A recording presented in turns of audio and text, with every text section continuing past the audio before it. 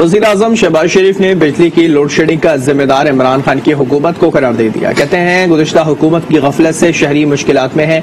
नवाज़ शरीफ ने मुल्क में इजाफी बिजली फराहम की थी, लेकिन इमरान खान की हुकूमत ने एक भी नया यूनिट शामिल नहीं किया।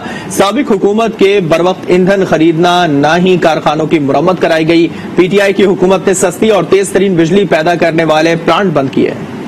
वज़ीर आज़म शहबाज शरीफ का बिजली की लोड शेडिंग में इजाफे पर इजहार बरहमी। नुमाया कमी के लिए हंगामी बुनियादों पर काम करने की हिदायत कर दी।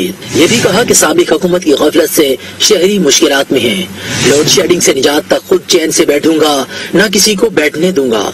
मुताल हुक्म शहरियों की तकलीफ़ कम करने के लिए हर मुमकिन कोशिश करें। तेल और गैस का बंदोबस्त होने तक अबूरी इकदाम को बेहतर बनाया जाए।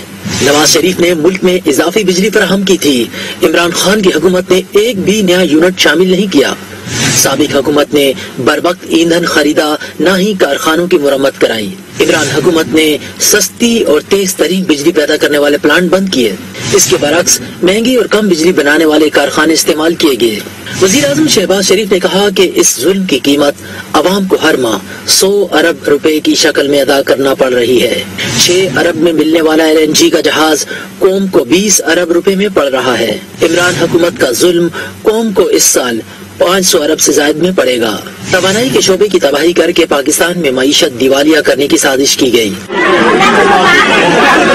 वज़ीर अजम शहबाज शरीफ ने जोहर टाउन में कायम रमज़ान बाज़ार का अचानक दौरा किया और अशिया खुरनोश की कीमतों का जायजा लिया। वज़ीर आज़म ने कोर्ट लखपत जेल लाहौर का भी दौरा किया और कैदियों की सजा में दो माह की कमी का ऐलान किया। वज़ीर आज़म ने वज़ीर दाखिला की सरबराही में एक कमेटी भी कायम कर दी, जो कैदियों की सहूलत और जेलों के मजमू निज़ाम की बेहतरी के लिए जाम हमत अमली मुरतब